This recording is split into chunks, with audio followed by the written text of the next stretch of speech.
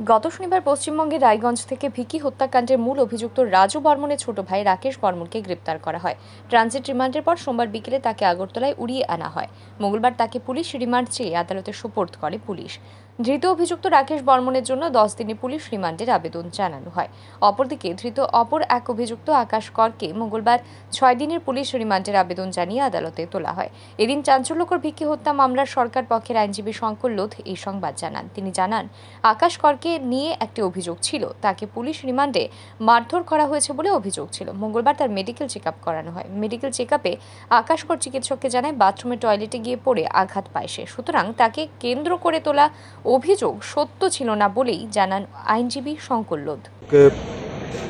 কালকে জিসিতে পাঠানো হয়েছিল, কারণ একটা এলিগেশন হয়েছে he was in police custody he was tortured তাই কালকে জেসিতে রেখে আজকে মেডিকেল এক্সামিনেশনের পরে ওকে প্রডিউস করা হয়। মেডিকেল এক্সামিনেশন রিপোর্ট এসেছে। সে ডাক্তারের কাছে বলেছে যে সে টয়লেটে গিয়ে পড়ে গেছে সো হি সাস্টেন্ড ইঞ্জুরিস সুতরাং তাদের এলিগেশনটা টোটালি ফলস আপনারা কি যে আর এটাই আমরা সাবমিশন করলাম। আর আরেকজন অ্যাকিউজড কেসকে প্রডিউস করা হয়েছে with a prayer for ten days police remand যাকে গতকালকে গতকাল না শনিবার দিন অ্যারেস্ট হয়েছিল। রবিবার দিন ওকে ঝাড়গ্রাম এই লোকাল রায়গঞ্জে প্রডিউস করা হয়েছিল ম্যাজিস্ট্রেটে আজ এখানে প্রডিউস করা হয়েছে।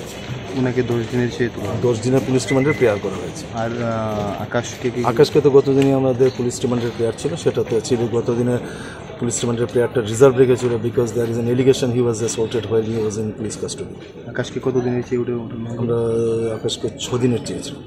এদিন রাকেশ বর্মনকে আদালতে সোপর্দ করার ঘটনাকে কেন্দ্র করে আদালত চত্বরে কঠোর নিরাপত্তা ব্যবস্থা গ্রহণ করে পুলিশ প্রশাসন। ব্যুরো রিপোর্ট আর ই নিউজ।